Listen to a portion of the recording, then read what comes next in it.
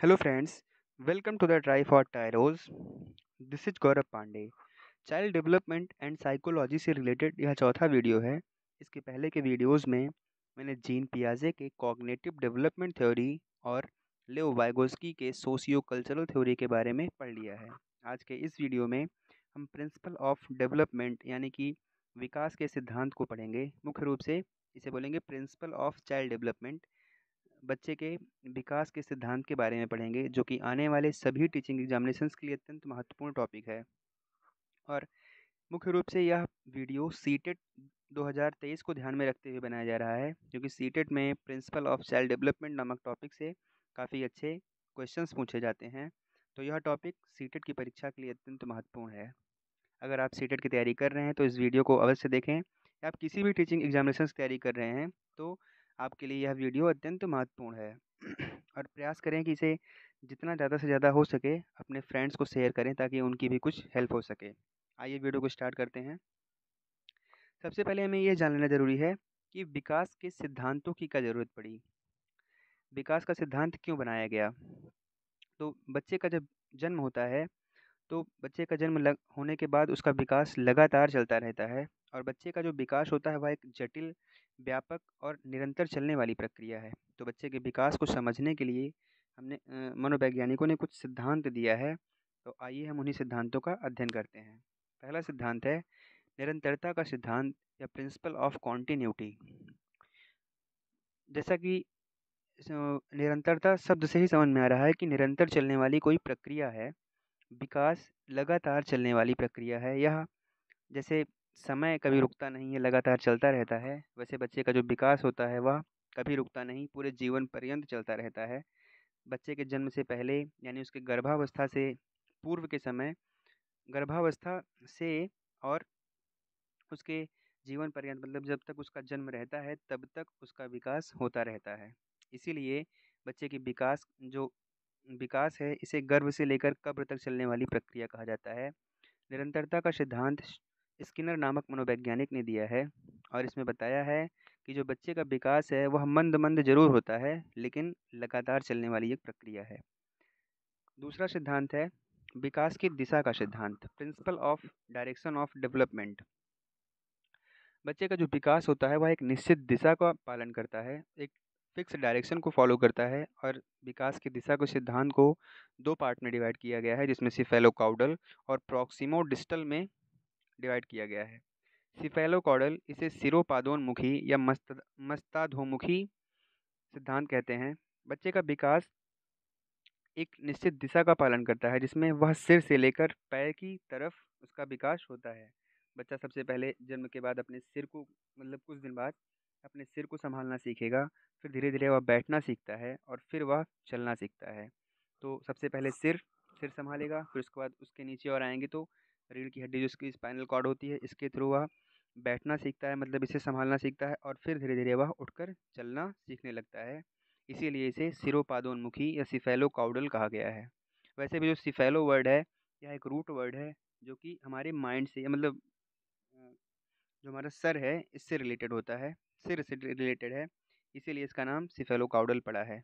और दूसरा वर्ड है प्रॉक्सिमो डिस्टल इसे समीपस्थ दूरस्थ विकास कहते हैं।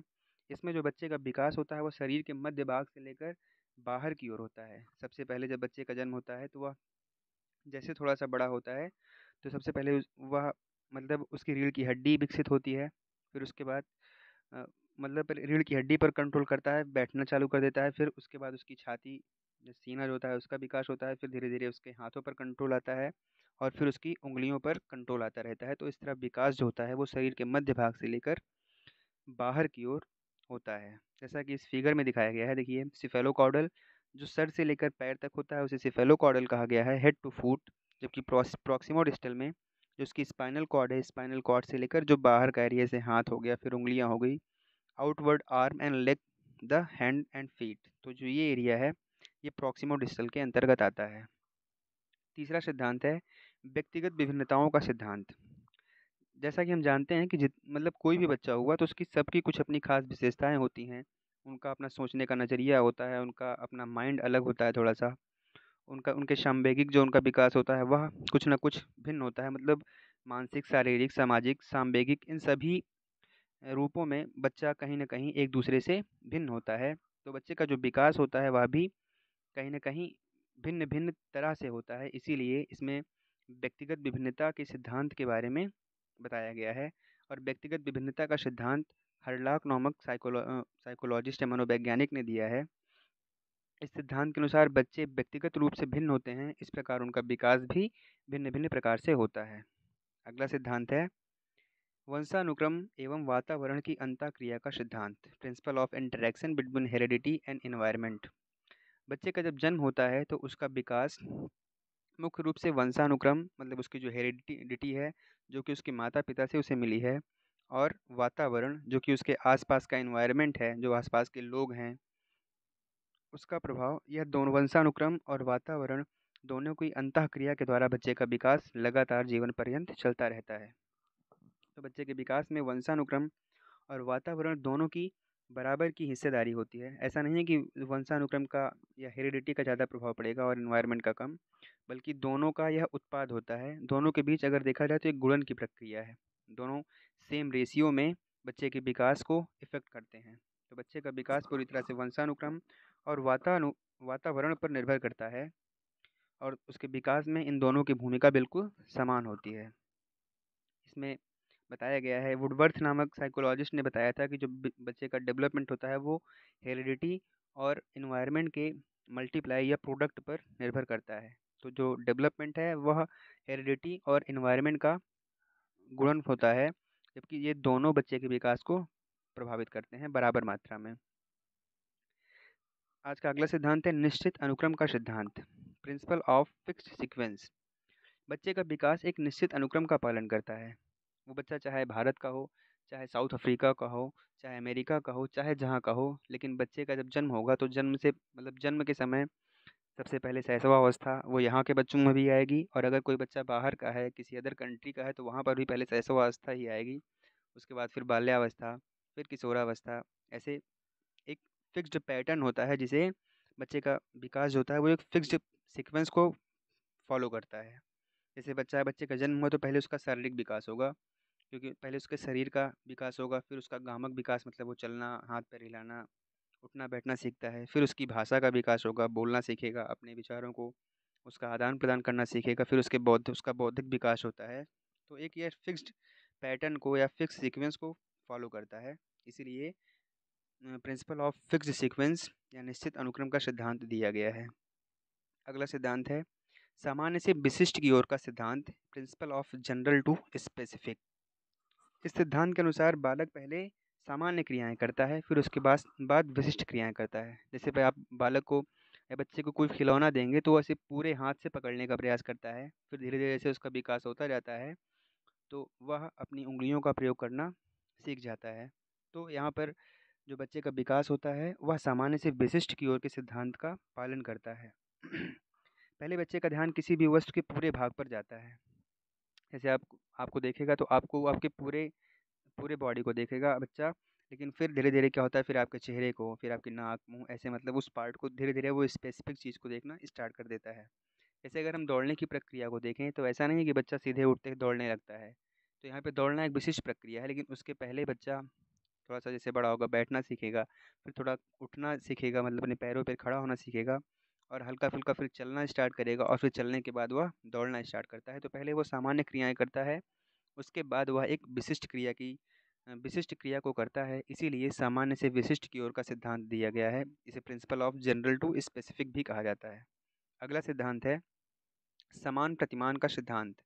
बच्चे का विकास एक निश्चित अनुक्रम का पालन करता है, बच्चा चाहे जहाँ का हो। इसे जैसे भी पिछले, पीछे मैंने पढ़ा कि निश्चित अनुक्रम का सिद्धांत इसे ही समान प्रतिमान का सिद्धांत कहा गया है कि बच्चा चाहे जहाँ का हो, चाहे जिस देश का हो, चाहे जिस जगह का हो, उसका वातावरण चाहे जैसे हो, लेकिन जो बच्चे का विकास होता है, वह एक निश्चित पैटर्न को फॉलो करता है। एक निश्चित उसका एक फिक्स्ड या कॉमन पैटर्न होता है, एक फिक्स्ड सीक्वेंस होता है कि पहले बच्चे की गर्भावस्था आएगी, फिर उसका शैशवावस्था, फिर बाल्यावस्था, फिर किशोरावस्था, ये सभी बच्चों में एक निश्चित क्रम में आता है। वो चाहे बच्चा चाहे जहाँ का हो, चाहे जिस वातावरण में हो तो इसीलिए समान प्रतिमान का सिद्धांत या प्रिंसिपल ऑफ़ कॉमन पैटर्न को दिया गया है। अगला सिद्धांत है चक्राकार या वर्तुल वर्तुलाकार सिद्धांत। बच्चे का विकास रेखीय ना होकर वर्तुलाकार होता है। ऐसा नहीं कि बच्चे का विकास एक निश्चित स्पीड से मतलब एक फिक्स्ड स्पीड से होता रहता है। मतलब लगातार चलने वाली प्रक्रिया विकास है तो लेकिन विकास जो होता है वह बिल्कुल रेखी नहीं होता है, एक समान नहीं होता है। कभी कभी हो सकता है विकास की गति थोड़ा सा तेज़ हो और फिर उसकी गति जो है थोड़ा सा मंद हो जाए, फिर थोड़ा सा तेज़ हो जाए तो ऐसे मतलब वो धीरे धीरे उसकी स्पीड कम ज़्यादा होती रहती है, लेकिन विकास लगातार चलता रहता है। इसीलिए यह जैसे विकास काफ़ी पहले से तेज़ हुआ, फिर उसके बाद फिर हल्का सा स्लो हो गया, ऊपर गया, फिर नीचे आया, फिर तेज़ हुआ, फिर लो स्लो हुआ। तो इस तरह यह एक स्पायरल शेप में इसका विकास जो, विकास होता है, जो स्पाइरल शेप को फॉलो करता है, इसीलिए इसे चक्राकार या वर्तुलाकार का सिद्धांत कहते हैं। जो बच्चे का विकास होता है वो पहले हो सकता है तीव्र हो, फिर उसके बाद थोड़ा स्लो हो जाए, फिर बढ़ जाए। तो इस तरह यह जीवन पर्यंत चलता तो है, लेकिन यह एक रेखीय नहीं होता। ऐसा नहीं कि मतलब बिल्कुल एक सेम चलेगा। कहीं ना कहीं इसमें थोड़ा बहुत ऊपर नीचे परिवर्तन होता रहता है। विकास ऊपर नीचे, आगे पीछे चलता रहता है। इसमें एक सीधी रेखा में चलने वाली प्रक्रिया नहीं है। अगला सिद्धांत है पूर्वानुमान का सिद्धांत। जैसा कि अपने गाँव में गाँव में क्या हर जगह कहावत है कि होनहार बलवान के हो चीखने पात। मतलब उसके जो बच्चे बहुत होनहार होते हैं, जब वो बचपन में पैदा होते हैं, तभी उनके पैर जो होते हैं वो बिल्कुल चिकने होते हैं। उससे समझ में आ जाता है कि बच्चे, ऐसा मतलब माना जाता है कि बच्चे आगे चलकर काफ़ी होनहार होंगे मतलब बहुत ये अच्छे होंगे, काफ़ी ऊंचाई तक जाएँगे। तो उसी तरह विकास का जो, इसीलिए पूर्वानुमान का सिद्धांत या प्रिंसिपल ऑफ़ प्रडिक्शन दिया गया है, जिसमें कहा गया है कि बच्चे बच्चे का विकास कैसा होगा यह उसके वर्तमान को देखकर बताया जा सकता है मतलब उसका पूर्वानुमान किया जा सकता है। प्रत्येक बच्चे की विकास की दर को देखकर उसके भविष्य में किस प्रकार उसका विकास होगा, इसका पूर्वानुमान लगाया जा सकता है। तो प्रिंसिपल ऑफ़ प्रडिक्शन में यही बताया गया कि बच्चा कैसा अभी मतलब अभी जिस तरह से है, जिस तरह उसका अभी विकास हो रहा है, उससे यह बताया जा सकता है कि आगे आने वाले समय में उसका विकास कैसे होगा, वह किस हद तक उसका विकास हो सकता है। जैसे बच्चे की कलाई का एक्सरे करके उससे बताया जा सकता है कि बच्चे का कद कितना होगा, ऐसा हमारे साइंटिस्टों ने सर्च किया है तो उससे यह पता लगाया जा सकता है। अगला सिद्धांत है, एकीकरण का सिद्धांत। इसे समन्वय का सिद्धांत भी कहते हैं। इस सिद्धांत के अनुसार बालक सबसे पहले संपूर्ण अंग चलाना सीखता है, फिर अंगों के भाग को चलाना सीखता है, तथा अंत में सभी में एकीकरण करना सीख सीख जाता है। जैसे पहले बच्चा उसका, वो देखना सीखेगा, अपने हाथों पर कंट्रोल करना सीखेगा, अपने पैरों पर कंट्रोल करना सीखेगा, अपने माइंड पर कंट्रोल करना सीखेगा। तो जब पहले विकास क्या होता है? अलग अलग बच्चे के अलग अलग अंगों पर अलग अलग तरह से होता है। लेकिन जब बच्चा पूरी तरह से विकसित हो जाता है, थोड़ा मतलब बड़ा हो जाता है तो वह अपने सभी अंगों पर कंट्रोल करना सीख जाता है और सभी चीज़ों का एक साथ प्रयोग करके कोई काम करने लगता है। जैसे मान लीजिए पहले बच्चा अभी हल्का सा उठ के मतलब बैठना चालू किया है, फिर वह चलना चालू कर देगा।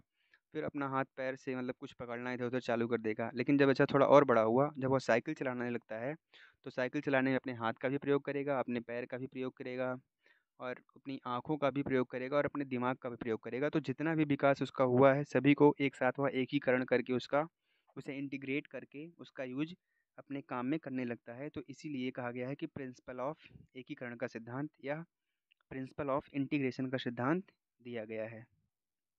जब बच्चा समान से विशिष्ट प्रक्रिया करने लगता है और विशिष्ट से समान प्रक्रिया करने लगता है तो हम यह अनुमान लगा सकते हैं। मतलब यह आप कह सकते हैं कि यह बच्चा अपने सभी सभी जितना भी उसका विकास हुआ उसके सभी पक्षों को एकीकृत अब कर लेगा तो और करके वह फिर अपना काम करने लगता है।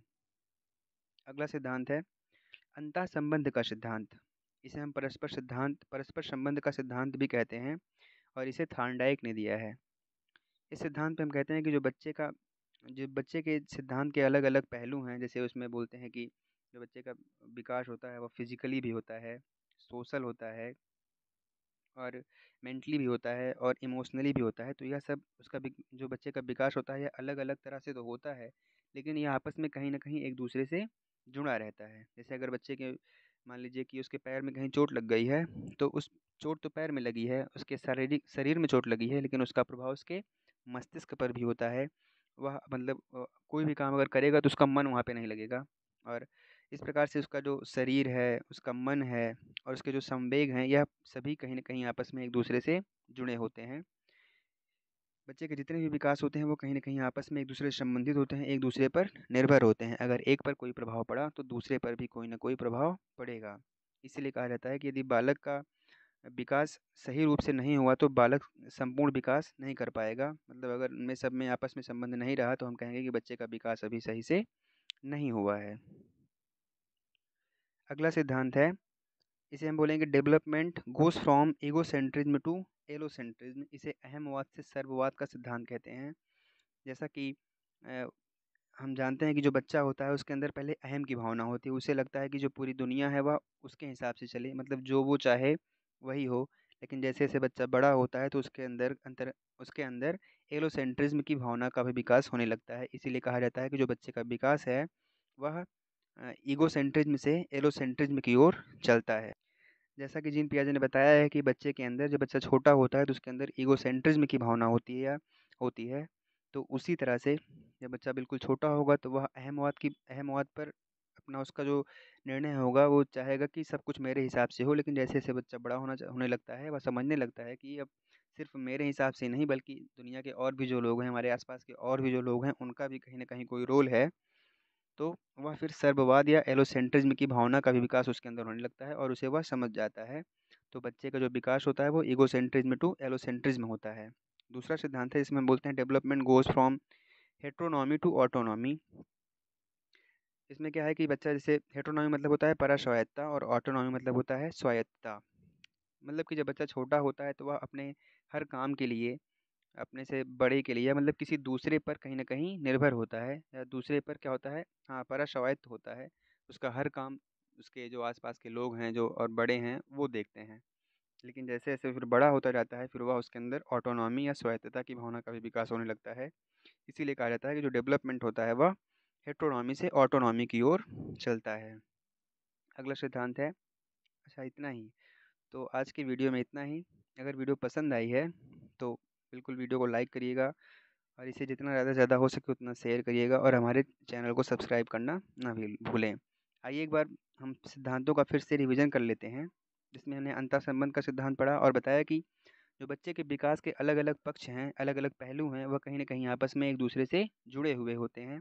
जैसे अगर बच्चे के शरीर में कोई चोट लग गई तो वह मानसिक रूप से भी अपने आप को सही स्थिति में नहीं पाता है। इससे पहले एकीकरण का सिद्धांत इसमें बताया मैंने कि जो बच्चे होते हैं, बच्चे के जो अलग अलग विकास के पहलू हैं, जो अलग अलग जगह उसका विकास हुआ है, जब वह उन सभी पर कंट्रोल करना सीख जाता है और उन सभी को आपस में एकीकरण करके उसका कहीं ना कहीं अपने लिए यूज़ करने लगता है तो हम कहते हैं कि बच्चे का विकास अब पूरी तरह से हो चुका है। इसीलिए प्रिंसिपल ऑफ़ इंटीग्रेशन दिया गया है। इसके अलावा पूर्वानुमान का सिद्धांत, जिसमें मैंने बताया कि बच्चे के वर्तमान में क्या विकास हो रहा है, उसे देखकर उसके भविष्य के बारे में प्रडिक्शन किया जा सकता है। इसके पहले सिद्धांत में चक्राकार या वर्तूलाकार सिद्धांत में मैंने बताया कि बच्चे का जो विकास होता है, वह एक निश्चित गति से नहीं होता, वह ऊपर नीचे कहीं ना कहीं थोड़ा बहुत चलता रहता है, उसकी गति कहीं तेज़ होगी, कहीं कम होगी। तो यहाँ से वर्तूलाकार सिद्धांत के बारे में मैंने बताया। इसके पहले समान प्रतिमान का सिद्धांत जिसमें मैंने बताया कि बच्चा चाहे जहाँ का हो, जिस वातावरण का हो, उसमें जो उसका पैटर्न होगा विकास का वो बिल्कुल सेम होगा। सभी में शैशवावस्था बाल्यावस्था किशोरावस्था, यह एक साथ, एक निश्चित क्रम में आती हैं। इसके पहले के सिद्धांत में सामान्य से विशिष्ट की ओर के सिद्धांत ने बताया कि बच्चा पहले सामान्य क्रियाओं को करता है, फिर धीरे धीरे वह विशिष्ट क्रियाओं को करना चालू कर देता है। इसके पहले निश्चित अनुक्रम का सिद्धांत जिसे हमने पीछे पढ़ लिया कि समान प्रतिमान का सिद्धांत भी कहा जाता है और इसके पहले के सिद्धांत में मैंने बताया कि बच्चे का जो विकास होता है वह वंशानुक्रम और वातावरण की अंत क्रिया का उत्पाद होता है। मतलब कि बच्चे के विकास में उसके जो, उसकी जो हेरिडिटी है मतलब उसके माँ बाप से जो उसके गुणसूत्र मिले हैं, गुण मिले हैं, वह तो उसके विकास को प्रभावित करते ही हैं, लेकिन उसके आसपास का जो इन्वायरमेंट होता है, जो वातावरण होता है, वह भी बच्चे के विकास को बहुत प्रभावित करता है।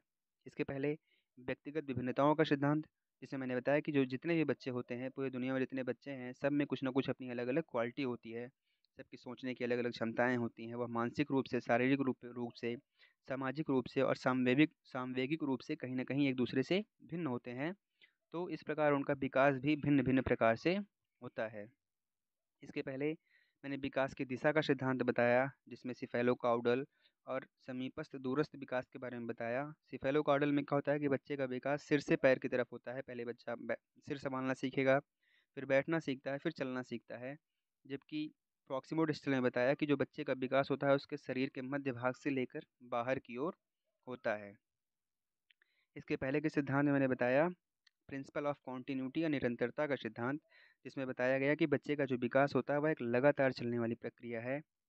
विकास जो होता है, वह स्लो तो होता है, लेकिन यह पूरे जीवन पर्यंत चलता रहता है। उसके जन्म पूर्व से लेकर मतलब उसकी गर्भावस्था से ही विकास प्रारंभ हो जाता है और तब से लेकर जब तक बच्चा ज़िंदा रहता है, जब तक उसका जीवन है, तब तक उसका विकास होता रहता है। इसे बर्थ टू डेथ या गर्भ से कब्र तक चलने वाली प्रक्रिया भी कहा जाता है।